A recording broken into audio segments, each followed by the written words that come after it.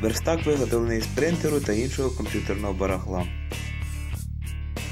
Кроковий двигун на вісі X був видраний із старого жорсткого диску, а драйвер для нього був куплений в інтернет-магазині.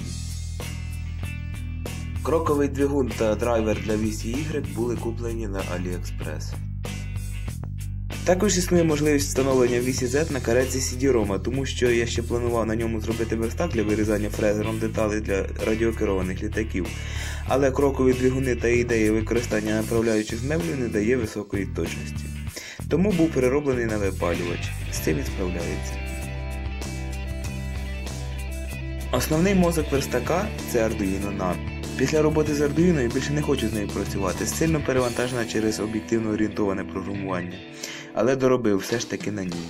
В якості драйверу вісі X L298N, драйвер для вісі Y ULN 2003 та китайський двигун. Блок живлення взяв комп'ютерний, жало нагрівача живиться від 5 вольтової лінії через лінійний регулятор температури на потужних PNP транзисторах, що потребував додаткового охолодження. Відкриваємо растровий графічний редактор. Я користуюсь гімпом. Відкриваємо потрібне зображення. У мене воно вже в буфері обміну, отже я відкриваю його звідти. Якщо потрібно, то знебарвлюємо зображення. У мене воно вже чорно-біле, тому немає сенсу. Далі позбудемось шумів. Фільтр Edge ISO Noise Reduction. Достатньо налаштувань за замовчування. Об'єднуємо видимі шари. Далі робимо зображення контрастніше. Перетворюємо зображення в індексоване. Та зберігаємо де завгодно на комп'ютері. Переходимо до випалювання. Програму необхідно відкрити з найвищим пріоритетом. Для цього вводимо наступну команду. Програму можна запустити звичайним чином, але тоді можуть виникнути проблеми при передачі даних. Відкриваємо потрібне зображення і очікуємо, поки програма його проаналізує.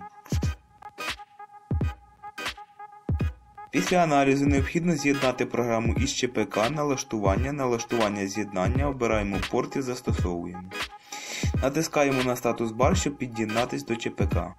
Бачимо повідомлення про успішний контакт. Тепер у ручному режимі стрілками на клавіатурі виставляємо потрібне положення нуля, а саме верхній лівий кут. Далі для того, щоб почати випалювання, потрібно натиснути керування і встановити поточне положення як 0.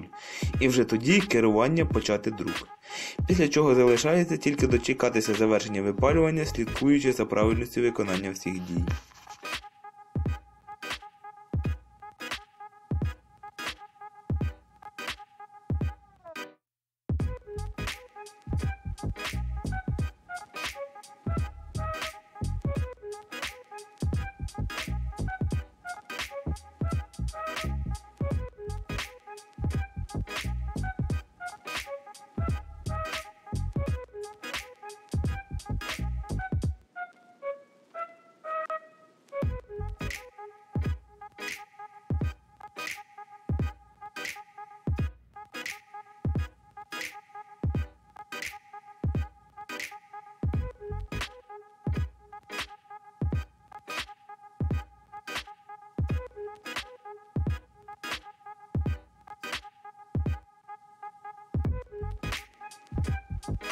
Шість годин сподівань і очікувань не пройшли дарма.